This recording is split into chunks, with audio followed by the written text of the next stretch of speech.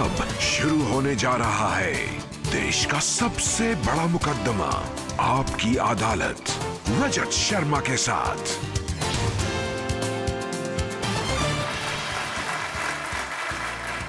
नमस्कार, आपकी अदालत में आपका स्वागत है। आपकी अदालत में आज पेश करेंगे फिल्मी दुनिया के एक ऐसे चमकते सितारे को जिसने पिछले 19 साल के करियर में एक के बाद एक हिट फ़िल्में दी। फ़िल्म इंडस्ट्री का सबसे वर्सटाइल एक्टर ऐसा एक्टर जिसे आपने एक्शन फ़िल्मों में देखा कॉमेडी करते हुए देखा इमोशनल कैरेक्टर्स करते हुए देखा, और फिर उन्हें राजनीति के कैरेक्टर करते देखा। मैं आपकी अदालत में आमंत्रित कर रहा हूँ। फिल्मी दुनिया के actor director producer Ajay Devgan को। अजय देवगन।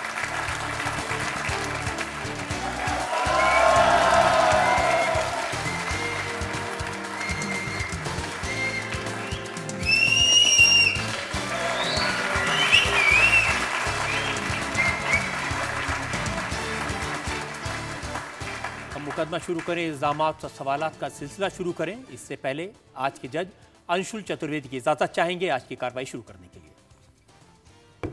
शुरू करिए।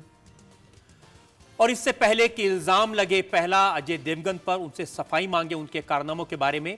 एक नज़र डालेंगे उस बैकग्राउंड पर पृष्ठभूमि पर जिसमें आज का ये मुकदमा चला जा रहा है। फ़िल्म स्टार अजय देवगन पर।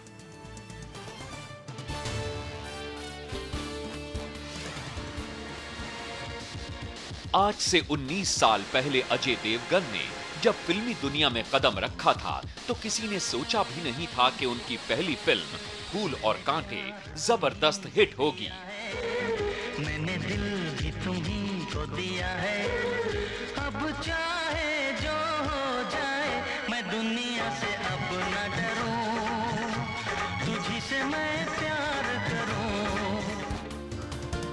इसके बाद अजय देवगन की फ़िल्में जिगर, दिलवाले, सुहाग और विजय पथ बॉक्स ऑफ़िस पर सफल हुई। महेश भट्ट की फ़िल्म नाजायज में अजय देवगन की बेहतरीन एक्टिंग की तारीफ़ हुई। जख्म और the legend of Bhagat Singh के लिए अजय देवगन को बेस्ट एक्टर के नेशनल अवार्ड से सम्मानित किया गया। असेंबली में दोनों बिल पास करने की कोशिश करवाएगा। हम उसका विरोध करेंगे। असेंबली में बॉम्ब फोड़कर। Bomb film? की, की बोलते आमिर खान के साथ अजय देवगन की इश्क कॉमेडी फ़िल्म थी। अमिताभ बच्चन के साथ मेजर साहब में अजय देवगन ने एक्शन रोल किया? एक ही स्कूल में पढ़ते थे। क्यों? वो साला जख्म पे जख्म देता है और तुम जख्म पे प्यार से मरहम लगाती हो। सलमान और ऐश्वर्या के साथ हम दिल दे चुके सनम में अजय देवगन ने एक इमोशनल कैरेक्टर प्ले किया।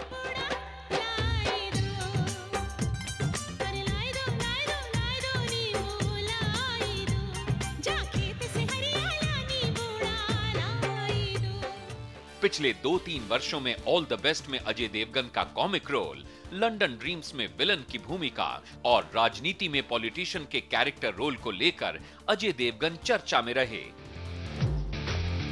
अब अजय देवगन खबरों में हैं अपनी नई film once upon a time in Mumbai की वजह से। हमारी तस्वीरें खींच के अपनी दुकान में लगा देना शोएब। कभी ज़रूरत पड़े तो दोनों में से एक भगवान चुन लेना। तो मुकदमा शुरू होता है। आपकी अदालत में पहला इल्ज़ाम अजय देवगन पर। आपकी अदालत में फ़िल्म स्टार अजय देवगन पर आरोप है कि ये फ़िल्म इंडस्ट्री की कन्वेंशंस को नहीं मानते। मैं आपको आपके बचपन की तस्वीरें कुछ दिखाना चाहता हूँ। ऐसी तस्वीर जिसमें आपने एक लेपर्ड को गोद में लिया हुआ है।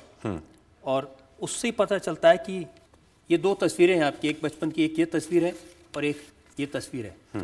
दोनों में लगता है कि एंग्री यंग मैन है। Angry young kid. हाँ एंग्री यंग किड है। नहीं इसमें मैं हंस रहा हूँ। देखिए इसमें मैं स्माइल दे रहा हूँ। स्माइल दे रहा है लेकिन आपने उठाया हुआ किसको है गोद में? ये भी तो लेपर्ड देखिए। उठाया हुआ है।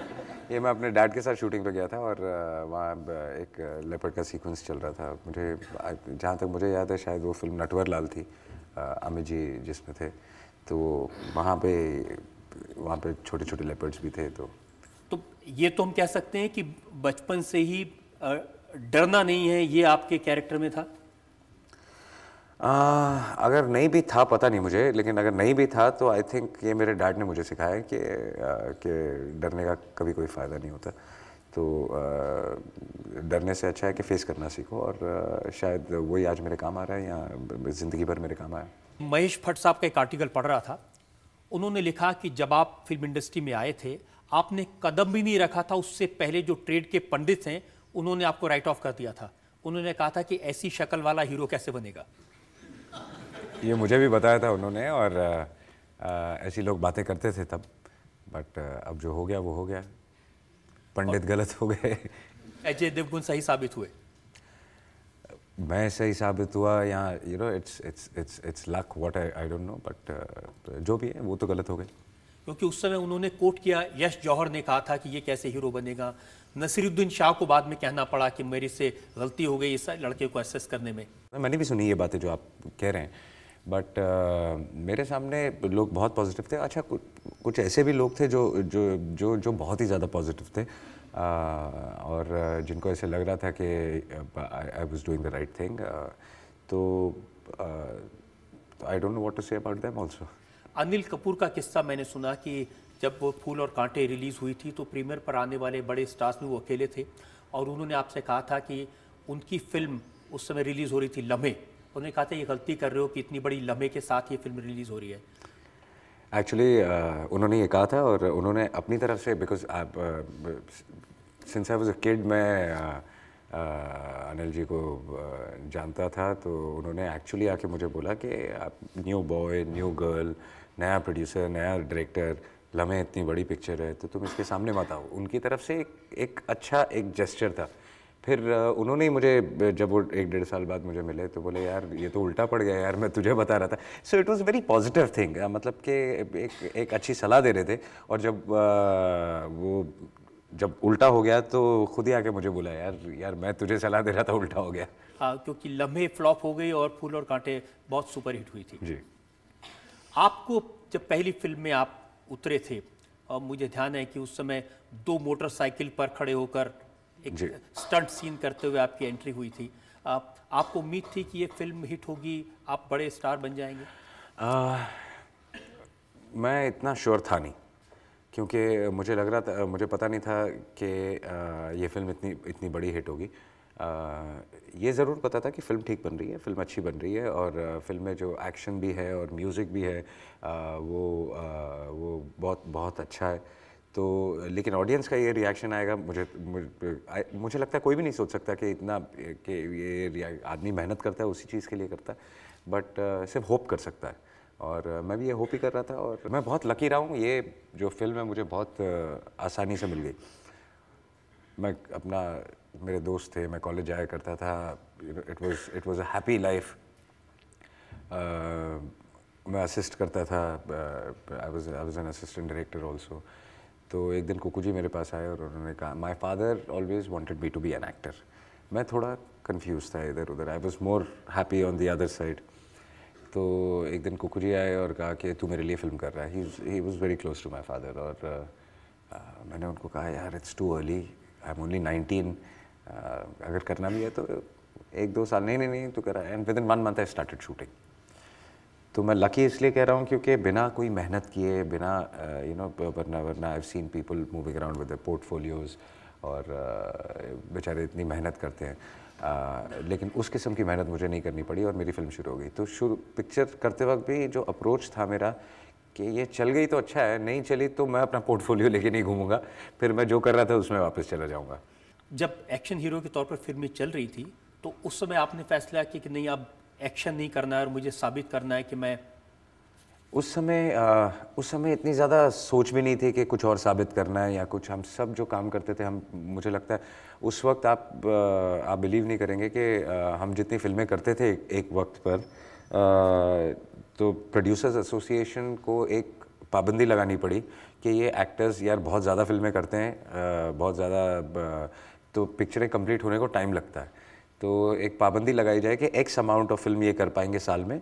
साल में मतलब जब तक इतने इतने नंबर की फ़िल्में ख़त्म नहीं होंगी, आप नहीं शुरू नहीं कर सकते। एक्चुअली सबका अप्रोच यही था, सब बहुत ज़्यादा काम करते थे और उस वक्त फ़िल्में भी ऐसे बन रही थी कि चलो एक्शन के चार सीक्वेंसेस डाल दो, ये डाल ग्रेजुअली थिंग्स स्टार्टेड चेंजिंग और और चीज़ें तभी चेंज होती है जब ऑडियंस चेंज होती है तब आपके बारे में जब मैं रिसर्च कर रहा था तो मुझे ये पढ़ने को मिला कि जब आपकी एक्शन फ़िल्में चल रही थी तो आप कॉमेडी करने लगे। नहीं कॉमेडी तो मैंने बहुत बाद में की। और जब कॉमेडी चलने लगी तो आप इमोशनल रोल करने लगे। आई थिंक uh, उसी का मज़ा है कि आप आप एक एक जॉनर से दूसरे जॉनर में जा सकें और फिर वापस उस जॉनर में आए। लेकिन जब जब एक्शन फ़िल्में चल रही थी और मैंने कॉमेडी करनी शुरू की तो एक्शन फ़िल्में छोड़ी नहीं। तो मैं चाह रहा था कि मैं अपने आप को एक अच्छी तरह बैलेंस कर पाऊँ कि मैं खुद अपने काम से बोर नहीं हो जाऊँ। मुझे हर बार कम से कम मैं रीडिफाइन एक सेट से दूसरे सेट पे जब जाऊँ तो मुझे ऐसे लगना चाहिए कि यार मैं कुछ नया काम कर रहा हूँ। एक जब आप नया कर जैसे जख्म किया आपने या शहीद भगत सिंह पर आपने फ़िल्म की लेजेंड ऑफ़ भगत सिंह ये दोनों फ़िल्मों के लिए बहुत तारीफ़ मिली आपको नेशनल अवार्ड मिला एक्टर के तौर पर साबित हुए लेकिन बॉक्स ऑफ़िस पर नहीं चली ये फ़िल्में। जी। तो आप अच्छी फ़िल्म करेंगे तो पिट जाएगी। ज़ख्म ज़ख्म एक हिसाब से चली और और जिस किस्म की वो फ़िल्म थी और जिस ऑडियंस को टारगेट कर रही थी उस टारगेट उस ऑडियंस के लिए वो पिक्चर ने बहुत अच्छा बिज़नेस किया। लेजेंड ऑफ़ भगत सिंह की एक ट्रेजेडी थी। मुझे लगता है कि वो अ, सबसे अच्छी फ़िल्म थी अ, और आज आज भी लोग आके बोलते हैं कि you know it was it was one of the best films ever made but उस वक्त पाँच भगत सिंह रिलीज़ हो रही थी। और और आप मेरी बात मानिए मुझे खुद लगता है कि हम इंक्लूडिंग माई सेल्फ हम सब एक बफून हो गए थे कि यार एक कंपटीशन में लगे हुए हैं कि फ़िल्म कंप्लीट करके रिलीज़ करनी है। तो उसमें कहीं ऑडियंस भी पुट ऑफ़ हो गई उसमें जो ख़राब थी उन्होंने अच्छी को भी चलने नहीं दिया और वो पूरा मैस हो गया। आपको लगता है वो फ़िल्म अगर अकेले वक्त पर आती तो शायद मुझे लगता है और आज भी लोग वो वो वो, फ़िल्म बार बार देखते हैं और डीवीडी पे देखते हैं और जो भी देखता है वो फ़िल्म बोलता है कि this is one of the best films ever made तो फिर कोई ऐसा रीज़न है नहीं कि अगर अगर वो अकेले आती तो नहीं चलती? लेकिन ये आपके मन में कहीं था कि ये जो ठप्पा लगा है एक्शन हीरो का इसको मैं हटा दूँ तो दिल दे चुके सनम जैसी फ़िल्म की जिसमें नहीं अगेन मैं कहूँगा कि मैं बहुत ज़्यादा लकी रहा हूँ इस मामले में कि जैसा आपने कहा कि जब ये चल रही है तो आपने दूसरा किया। अ, मुझे सही समय पे सही डायरेक्टर्स के साथ और सही स्क्रिप्ट्स और सही कैरेक्टर्स मिलते गए। तो उस उस चक्कर में मेरा वो जो रेपिटेटिव होना है वो नहीं हुआ। तो मुझे आज एक एक एक इतना बड़ा लीवे मिल चुका है कि आज आज जिस किस्म की जिस जॉनर की फ़िल्म मैं करना चाहूँ कम से कम बुक कर सकता हूँ। लेकिन विलन बन जाएँगे आप? खलनायक? आज के ज़माने में I think I think character we are playing characters all heroes and we but I think everybody सब जितने भी लोग हैं सब कैरेक्टर अगर कैरेक्टर बहुत इंटरेस्टिंग है और कैरेक्टर जैसे मैंने खाकी किया Khakee was a negative role out and out negative role but Khakee में अप्रिसिएशन बहुत मिली साथ में। तो तो मुझे नहीं लगता कि ऑडियंसेस को ये लगा कि ये पॉजिटिव है या नेगेटिव ऑडियंसेस को लगेगा कि ये आदमी कल तो शहीद भगत सिंह का रोल कर रहा था और आज हाजी मस्तान का रोल कर रहा है। इसी का तो मज़ा है। इसी का तो मज़ा है। इसी का तो मज़ा है। अगर आप एक ही चीज़ करते रहें और सिर्फ़ अगर आप भगत सिंह ही करते रहें तो फिर आप कितनी बार कर पाएँगे? चलिए हम ऑडियंस से पूछते हैं उनके क्या रिएक्शंस होते हैं आपकी ऐसी फ़िल्मों को लेकर के? जी हाँ, आप यहाँ सेकेंड रो में? हाँ। मेरा प्रश्न ये है कि भगत सिंह फ़िल्म आपकी थोड़ी कम चली।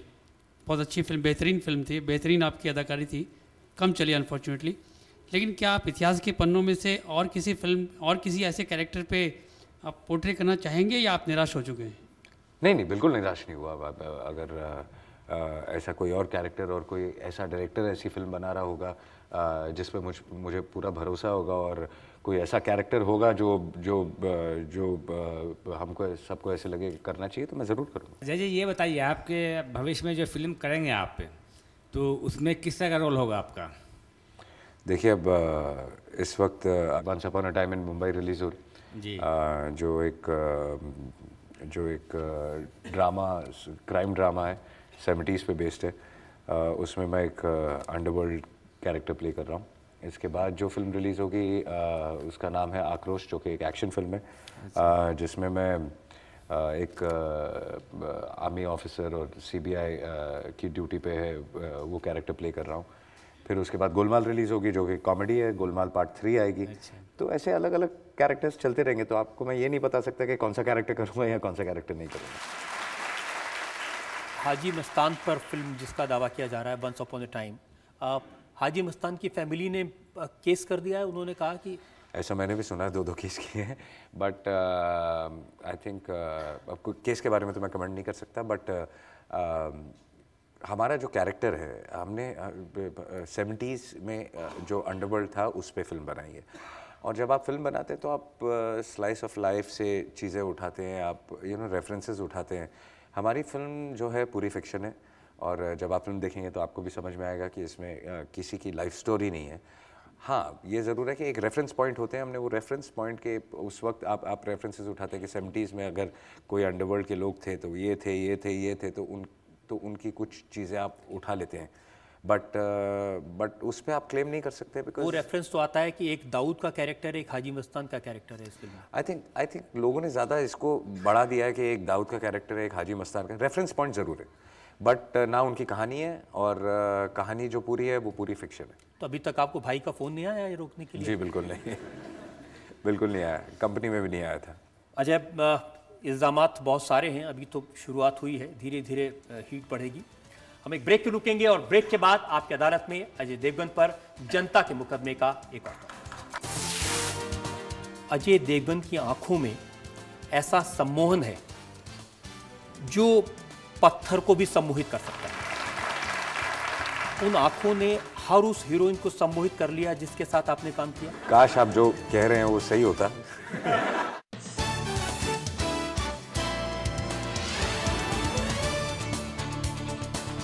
आपकी अदालत में आज हम मुकदमा चला रहे हैं फ़िल्म स्टार अजय देवगन पर। आपकी अदालत में अगला इल्ज़ाम। आपकी अदालत में फ़िल्म स्टार अजय देवगन पर इल्ज़ाम है कि ये खुद ही अपने दुश्मन हैं। अजय कभी कभी ऐसा लगता है जैसे आप अपना घर फूंक के तमाशा देखते हैं। क्यों? आ, सन 2000 में आप पीक पर थे आपकी एक के बाद एक फ़िल्म हिट हो रही थी आप प्रोड्यूसर बन गए राजू चाचा बनाई और करोड़ों का नुकसान किया। आई थिंक हर हर uh, हर इंसान अपनी लाइफ में uh, कुछ ना कुछ नुकसान करता ही है। और uh, राजू चाचा ही एक ऐसी फ़िल्म है जिसमें मैंने लाइफ में नुकसान किया। और उससे मैं सीखा भी बहुत कुछ कि uh, फ़िल्म अच्छी थी फ़िल्म चली भी बट uh, जो बजट थे वो इतने ज़्यादा थे कि वो कवर नहीं कर पाई। तो that was the only film I have learned out of my mistake Mahesh Bhatt साहब ने कहा कि अजय देवगन को उस फ़िल्म के कर्जे चुकाने के लिए अपनी बोली लगवानी पड़ी। आ, मुझे अच्छा नहीं लगता कि अगर आ, अगर मुझ पर कोई कर्जा हो तो सबसे पहले मैंने एक ही काम किया कि आ, अब बहुत ज़्यादा काम करके और जितना जल्दी हो सके सबके कर्जे निकाल दिए। और फिर कसम खाई कि अब मैं प्रोड्यूसर नहीं बनूँगा। नहीं ऐसा नहीं है। उसके बाद मैंने दो तीन फ़िल्में और बनाई और सब में I earn money and film have done well लेकिन इतनी कम उम्र में आप प्रोड्यूसर बन जाएँ डायरेक्टर बन जाएँ एक्टर तो आप थे ही। कम उम्र मतलब फोर्टी वन ज़्यादा है? आ, नहीं एक्चुअली मैंने देखिए मैंने मैंने कोई रूल लाइफ में फॉलो नहीं किया। जो मेरे जो मेरे दिल ने कहा मैंने किया है। और अ, और आज मैं बहुत ज़्यादा सेटिस्फाइड हूँ कि जो कुछ मैंने किया अपने हिसाब से किया अपने टर्म्स और कंडीशंस पे किया। किसी का नुकसान करके नहीं किया। अ, अपना नुकसान करके नहीं किया।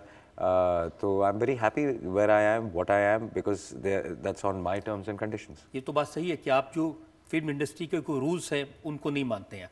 आप किसी अवार्ड फ़ंक्शन में नहीं जाते हैं। आप अवार्ड्स को पसंद नहीं करते हैं। आ, ऐसा नहीं है कि पसंद नहीं करता हूँ मुझे लगता है लेकिन कई अवार्ड्स ऐसे हैं ज़्यादातर। जो जो जो मुझे लगता है कि बहुत ज़्यादा सही नहीं है और जो चीज़ मुझे सही नहीं लगती फिर मैं उनमें जाता नहीं। नेशनल अवार्ड्स लेने तो गए थे आप?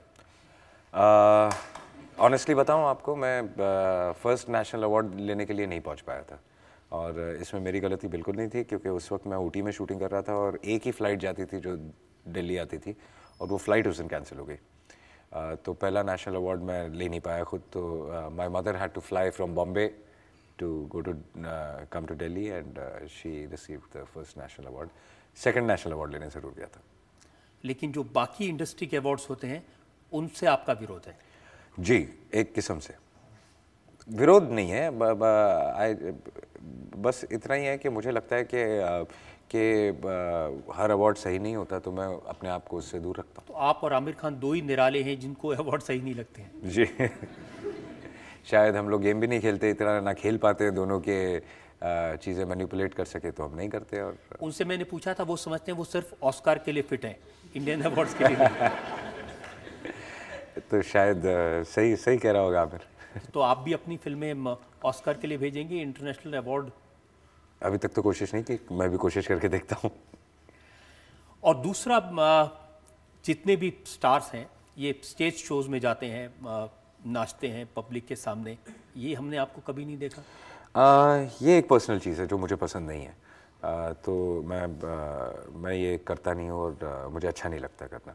मुझे लगता है कि मेरा काम ज़्यादा कैमरे के सामने है और और एक आर्ट, एक टैलेंट है। आप उसका एक किस्म से मिसयूज़ करना मुझे लगता है, उसको इसलिए मैं नहीं करता।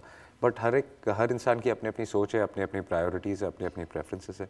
तो जो चीज़ मेरे लिए मुझे सही लगती है, वो शायद दूसरे के लिए गलत हो या दूसरे की चीज़, जो दूसरे को सही लगती है, मेरे लिए गलत हो।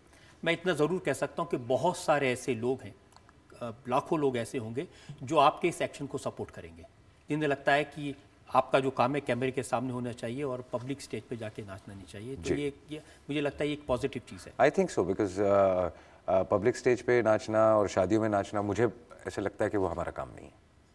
हालाँकि कुछ ऐसे भी एक्टर हैं आपके दोस्त जो कहते हैं कि हम तो भांड हैं हम तो कहीं भी नाचने को तैयार हैं पैसे मिले अब देखिए ये भी एक जब वो ऐसा कहते तो मुझे लगता है ये भी एक उन्होंने अपना एक वो बना रखा है कि इससे पहले कि आप मुझे गाली दें मैं अपने आप को गाली दे देता हूँ तो आप कुछ बोल ही नहीं पाएँगे। तो एक एक एक ये भी एक दीवार बनाई है उन्होंने तो उनको भी लगता है कि उनको जो लगता है वो उनको लगता होगा but I don't agree with जो आपके पहले डायरेक्टर थे कुक्कू जी। उन्होंने कहा कि अजय देवगन की आँखों में ऐसा सम्मोहन है जो पत्थर को भी सम्मोहित कर सकता है।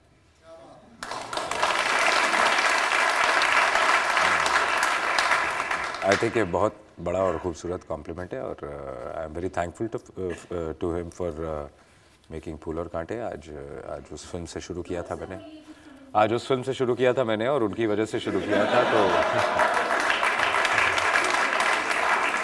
अब ये जो अ, आँखें हैं जिनकी इतनी बात उन्होंने की थी अ, उन आँखों ने हर उस हीरोइन को सम्मोहित कर लिया जिसके साथ आपने काम किया? आ,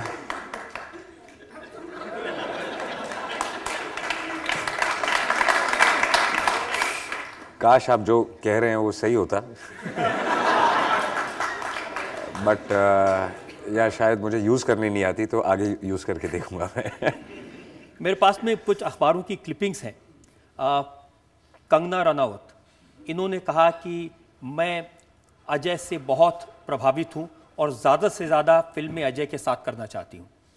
दैट्स वेरी स्वीट ऑफ़ ये पहली पिक्चर हमने साथ में की है और I take it as a compliment दूसरी हेडलाइन है बिपाशा हुई अजय देवगन से इम्प्रेस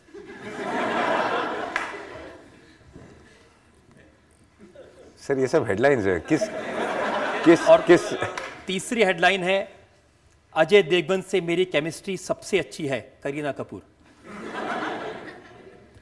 और चौथी अजय सबसे हंसमुख इंसान है Konkona Sen. I think I think compliments तो सभी को अच्छे लगते हैं। थैंक यू इनको भी आप शायद थैंक यू कहना चाहें। सबसे ज़्यादा शरारती हैं अजय देवगन आसिन। देखिए थोड़ी बहुत मस्ती तो करनी पड़ती है वरना आप एक फ़िल्म की शूटिंग पे जाते हैं सत्तर अस्सी दिन एक सौ डेढ़ सौ लोगों के साथ आप बिताते हैं अपनी फैमिली के बिना। तो अगर आप सिर्फ़ कंटिन्यूसली काम करते रहेंगे हँसी मज़ाक नहीं करेंगे एक एक रापो नहीं बनता। और अगर अगर if if you make everybody comfortable I think एक बॉन्डिंग हो जाती है एक फैमिली की तरह सब हो जाते हैं और काम सत्तर अस्सी दिन कब निकल जाते हैं पता नहीं चलता और काम भी अच्छा होता है। मैंने सुना कि इस एक शूटिंग के दौरान आपने करीना कपूर को बता दिया कि उनके कमरे में एक अ, भटकती आत्मा है। आ, नहीं ऐसा ऐसा एग्जैक्टली exactly नहीं हुआ था बट वो छोटी मोटी चीज़ें तो लगी रहती हैं सभी करते रहते हैं यूनिट में सभी एक दूसरे को डराते रहते हैं मस्ती करते रहते हैं। और हम ऐसी नई नई जगह क्यों हमारा एक तो काम ऐसा है कि हम बहुत लकी हैं कि नई नई जगहों पर जाके शूट करते हैं और दुनिया देखते हैं।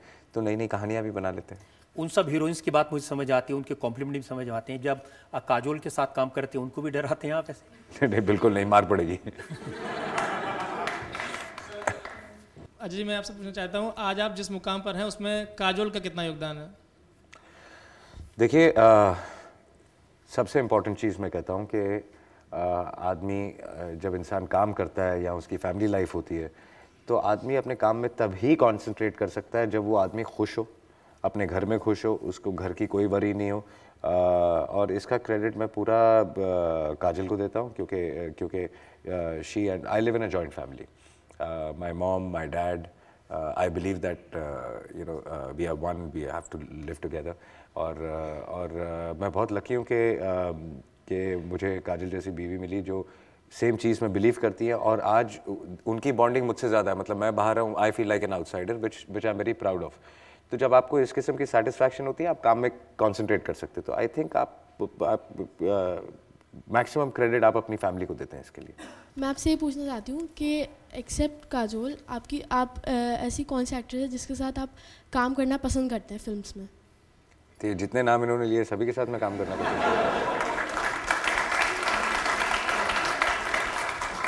मैं आपसे ये पूछना चाहता हूँ कि आपकी मैरिड लाइफ का कोई ऐसा पल जो आपको हमेशा याद रहे वो हमारे साथ शेयर करें।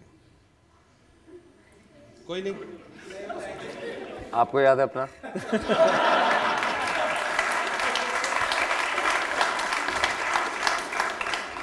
आप कह रहे थे कि आँखों के सम्मोहन को यूज़ करेंगे। लेकिन इस सम्मोहन को यूज़ करके ही तो काजोल का मन जीता होगा। अब वो पता नहीं कैसे हुआ बट ऐसे कोई इंटेंशन नहीं थी कि यूज़ करने की। यूज़ करना तो सीख लूँ मैं क्योंकि कम से कम जब यूज़ करना हो तो यूज़ कर कर सके आदमी। अब एक और ब्रेक के रुकेंगे और ब्रेक के बाद आपकी अदालत में अजय देवगन पर जनता के मुकदमे का आयकर। आप दूसरों को डराते हैं किसी को भूत से डराते हैं किसी को बंदर से डराते हैं। नहीं मुझे नहीं डर लगता। वो पूछ रहे हैं क्या काजोल से डर लगता है? मैं तो नहीं वही आगे मारेगी।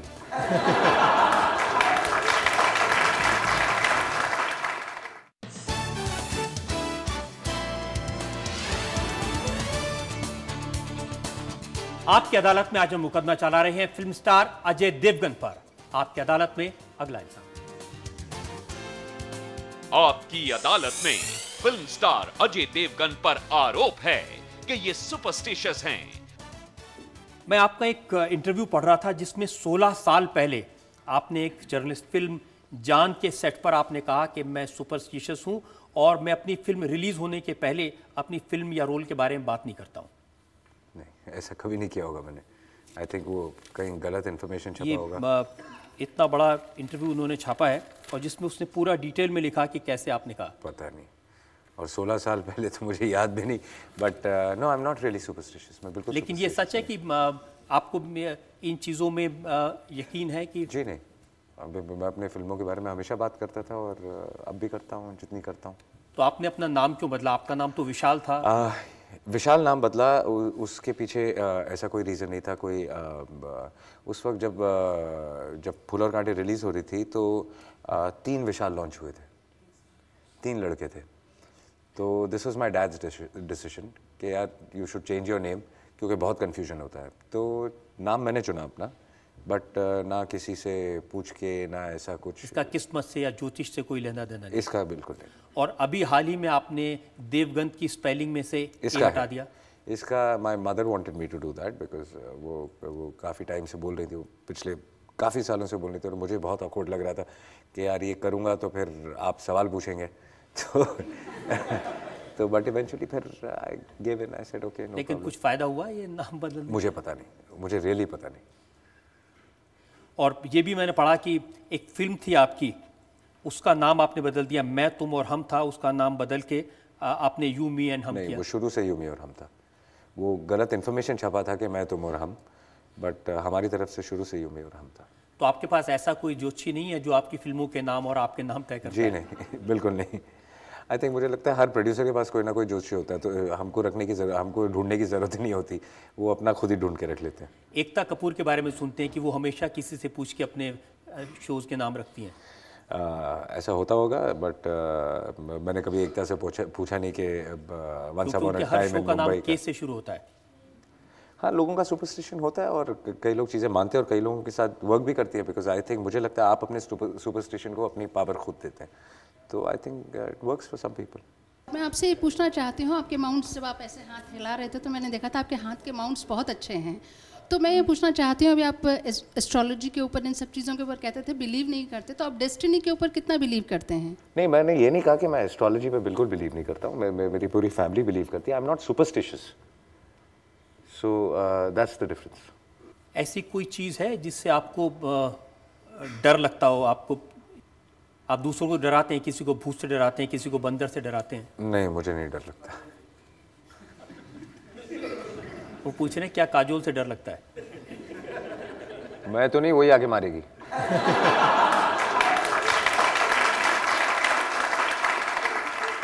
सर मेरा क्वेश्चन आपसे ये है कि आपने अपने फ़िल्म करियर में इतने सारे कैरेक्टर्स किए बट कोई ऐसा कैरेक्टर जो भी जो आज तक आपको याद रहता है? आई थिंक ऐसे बहुत सारे कैरेक्टर्स हैं। Bhagat Singh is one of them because because उनके बारे में काफ़ी पढ़ के और जब आप एक रियल uh, लाइफ के हीरो को uh, आप uh, फ़िल्म में कॉपी uh, करते हैं तो फिर uh, आपकी रिस्पॉन्सिबिलिटी बहुत बड़ी आती है कि आप uh, आप उनके साथ जस्टिस करें और गलत नहीं कर सकते उनके साथ। आपको फोबिया है। अगर आप खाना खाते हैं हाथ से तो उसके बाद बड़ी देर तक हाथ धोते रहते हैं। किसी से हाथ मिलाते हैं तो फिर हाथ धोते रहते हैं। नहीं किसी से हाथ मिलाने का फोबिया नहीं है बट uh, मुझे uh, खाने का थोड़ा फोबिया ज़रूर है। I I don't really touch food which is oily और मुझे ऐसे लगता है कि यू नो स्मेल रह जाएगी। बट ये ये होता है फोबिया बट हाथ मिलाने का ऐसा कोई फोबिया इसमें तो ये भी लिखा है कि लंबे नाखून वाली लड़कियों से हाथ मिलाना पसंद नहीं करते। ऐसा भी लिखा है। आजकल सभी के नाखून लंबे होते हैं क्या करें? नहीं सिर्फ़ uh, खाने का है। और उसके अलावा कुछ नहीं।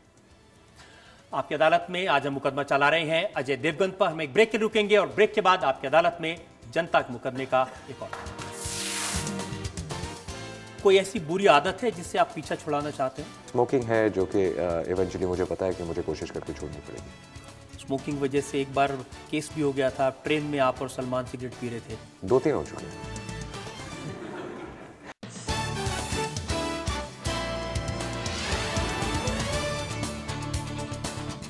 आपकी अदालत में आज हम मुकदमा चला रहे हैं फ़िल्म स्टार अजय देवगन पर। आपकी अदालत में अगला इल्ज़ाम। आपकी अदालत में फ़िल्म स्टार अजय देवगन पर इल्ज़ाम है कि ये अब सेक्स सिंबल बनना चाहते हैं।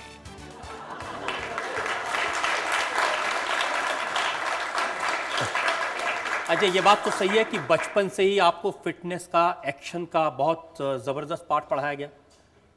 हाँ एक किस्म से। और मैंने ये भी पढ़ा कि सुबह चार बजे उठना पड़ता था और चार बजे तो नहीं बट पाँच छः बजे डैड उठा के भगा देते थे कि और काफ़ी काफ़ी मेहनत करवाते थे। जी उसमें मैं भी छुप छुपा के फिर करता नहीं था बट वो अपनी तरफ़ से पूरी कोशिश करते थे।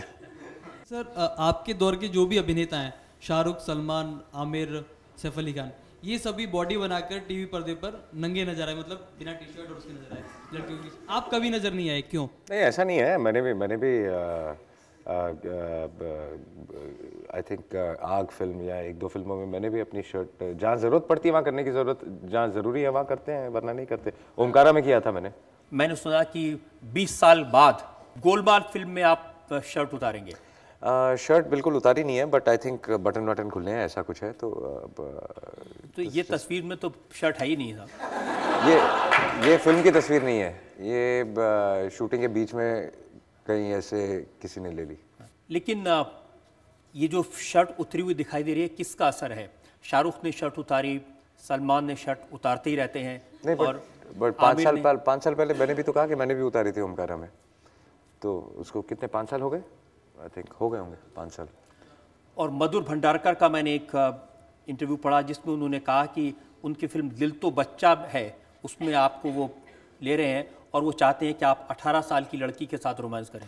हाँ वो कहानी ऐसी है कि थोड़ा मिक्स मैच है और कि कि एक एक एक old an older guy falls in love with a younger girl तो वो उस किस्म की एक कहानी है तो उसकी कहानी की डिमांड ये है। तो इस इस उम्र में सेक्स सिंबल बनने की कोशिश करें? आ, कोशिश करने में बुराई तो है नहीं। सर मैं ये पूछना चाहता हूँ कि जैसे आप बीस साल से इस इंडस्ट्री में हो एक स्टैब्लिश एक्टर हो दो नेशनल अवार्ड्स भी मिल चुके हैं लेकिन फिर भी अगर आज एक तरफ़ आपकी फ़िल्म हो और एक तरफ़ कोई बड़े स्टार कास्ट या मे, मेजा मेगा बजट फ़िल्म हो जैसे खान या किसी कपूर की तो ऑडियंस उसे प्रेफर ज़्यादा करती है वो ज़्यादा एंटिसिपेटेड होती है। तो जो ए लिस्ट एक्टर्स वाली लिस्ट है उसमें आपको जनरली कंसिडर नहीं किया जाता। तो उसका कोई स्पेसिफिक रीज़न है आपके पास? आई मुझे पता नहीं आ, इसके बारे में बट आई थिंक अगर आप देखें कि जो जो आ, अगर आप सब लिस्ट भी देख लें तो most of my film are worked and last I have last three और फोर फ़िल्म जो जो मेरी रिलीज़ हुई है सब बहुत अच्छी चली हैं सब सब हिट और सुपर हिट के बीच में आई हैं। ये बहुत सारे लोग ये बात कहते हैं कि अजय देवगन ने 19 सालों में दो साल अगर छोड़ दें हर साल एक हिट फ़िल्म दी है। वर्सेटाइल रोल किए अलग अलग तरह के काम किए हैं। लेकिन इसके बावजूद अजय देवगन को नंबर वन नंबर टू की कैटेगरी में नहीं माना जाता। मुझे लगता है इसमें अपने आप का जो थोड़ा प्रमोशन आपको करना पड़ता है वो मैं ज़्यादा करता नहीं हूँ। शायद वही रीज़न होगा वरना कोई और रीज़न मुझे नज़र आता नहीं क्योंकि अगर अगर काम और अगर फ़िल्में और सक्सेस अगर एक तरफ़ रख दें तो वो तो सामने है। तो इसके अलावा मुझे लगता नहीं और कोई रीज़न तो प्रमोशन क्यों नहीं करते? Again I am very lazy on that I am not मुझे बहुत ज़्यादा मैं कर नहीं सकता हूँ। कोशिश करता हूँ और हर बार सोचता हूँ कि इस फ़िल्म के साथ करूँगा बट नहीं होता, होता नहीं है। तो आप आ, काम के मामले में लेजी हैं या सिर्फ़ प्रमोशन के मामले में लेजी हैं? आई थिंक प्रमोशन काम के मामले में मैं भी मैं लेजी हूँ लेकिन काम मैं अपना पूरा करता हूँ फिर भी।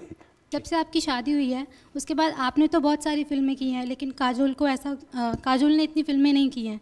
क्या उसका रीज़न वो है कि आपने रेस्ट्रिक्शंस लगाई हैं उनके ऊपर ऐसा कुछ? अगर आप देखें तो काजल काजल शादी से पहले भी उतनी फ़िल्में करती थी जितनी शादी के बाद कर रही है। वो एक साल में एक डेढ़ एक पिक्चर ही करती है एक डेढ़ साल में तो उनका लेकिन अब इम्प्रेशन आपका ख़राब हो रहा है मैं क्या करूँ आप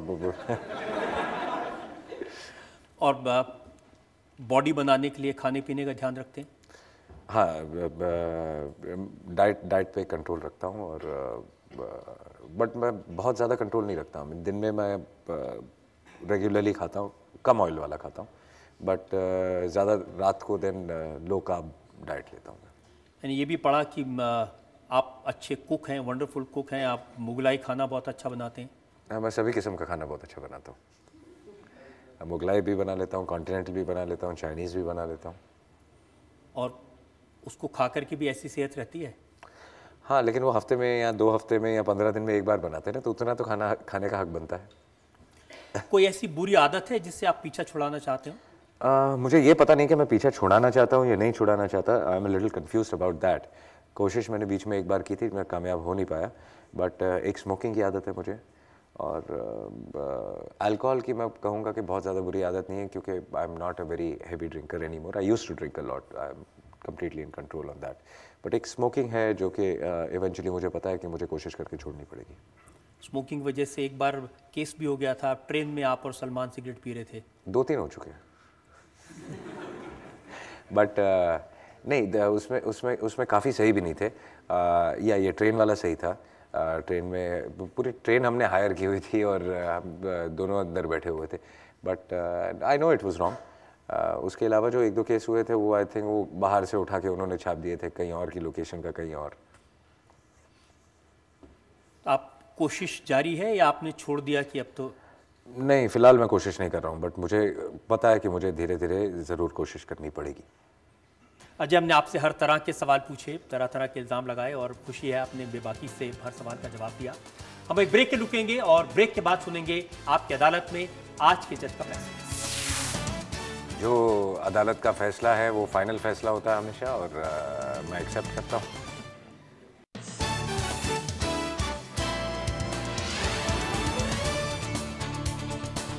वेलकम बैक आपकी अदालत में आज हमने जनता की तरफ़ से मुकदमा चलाया अजय देवगन पर। अजय देवगन से हमने पूछा उनकी एक्टिंग के बारे में उनके बदलते रोल्स के बारे में। हमने उनसे पूछा प्रोड्यूसर के तौर पर डायरेक्टर के तौर पर उनके अनुभव के बारे में और बहुत सारे सवाल उनकी पर्सनल लाइफ के बारे में पूछे गए। अब वक्त है आपकी अदालत में आज के जज अंशुल चतुर्वेदी के फैसले का। जी, आज के डिस्कोर्स के बाद मेरे ख्याल से तीन कोर पॉइंट्स आते हैं जो अजय ने बातचीत करी उसको देखते हुए। पहली बात कि इनमें हिम्मत है एक्सेप्ट करने की कि जो इन्हें आसानी से मिला। बहुत कम लोग हैं बॉलीवुड में जो बोलते हैं कि मुझे ब्रेक आराम से मिल गई और हमने दो बातें बोली that you that you got in easily and ये बोल रहे हैं कि इसमें क्रेडिट जाता है मेरी सिचुएशन का, मुझे ब्रेक आसानी से मिली। और जब हम बोल रहे हैं कि इनके बहुत अलग अलग किस्म के जॉनर्स में प्रोफाइलिंग रही है, तब भी इन्होंने बोला है कि मुझे सही समय पर सही डायरेक्टर और सही राइटर्स वगैरह मिलते रहे, इस वजह से I was able to move out and I was not type cast दूसरी बात इन्होंने बोली, एक फाइनेंशियल कंटेक्स्ट में कि कर्जा रखना मुझे अच्छा नहीं लगता, लेकिन ये बात मेरे हिसाब से इनके पूरे 20 साल के प्रोफेशनल डोमेन में ये बात दिखती है बिकॉज़ इंडिविजुअली भी बॉलीवुड में किसी का कर्जा इन्होंने रखा हो या किसी के एहसानों तले ये दबे हों, ऐसा कभी देखा नहीं गया। तो ये एक एक फितरतन बात है, सिर्फ़ पैसे को लेकर नहीं। और तीसरी बात चार्जेस लगाने की जो आपकी चेष्टा रही है, उसमें असल में देखा जाए तो 20 साल की सिनेमैटिक करियर के बाद चार्जेस ढूँढने पड़ते हैं किसी को लगाने के लिए। ये भी एक अपने आप में स्टेटमेंट है। कंट्रोवर्सी और अजय देवगन 20 साल मीडिया की तरफ़ से मैं बोलूँगा अगर थोड़ी और होती तो हमारे लिए आसानी रहती। लेकिन कंट्रोवर्सी मिलती नहीं है। एंड दे जो उन्होंने बात बार बार बोली कि मैं अपने टर्म्स पर ही सब कुछ करता हूँ उन्होंने आपका ये जो मुकदमा है वो भी बाय एंड लार्ज अपने टर्म्स पर ही हैंडल किया है। And we really don't have a choice सिवाय कि इनको हम इस सबसे बरी करें। Thank you thank you sir आप कुछ आप कुछ कहना चाहते हैं अदालत के फैसले पर कोई फाइनल कमेंट जो अदालत का फैसला है वो फाइनल फैसला होता है हमेशा और अ, मैं एक्सेप्ट करता हूँ। इस उम्मीद के साथ इस यकीन के साथ कि अजय देवगन इसी तरह से वर्सेटाइल रोल करते रहेंगे अलग अलग रूप में जनता के सामने आते रहेंगे जनता का प्यार इन्हें मिलेगा। ये सफलता की और कामयाबी की एक के बाद एक सीढ़ी चढ़ते जाएँगे। इस कामना के साथ आज का शो यहीं खत्म करते हैं। अगले सप्ताह मुलाकात होगी एक नई शख्सियत के साथ। तब तक के लिए नमस्कार।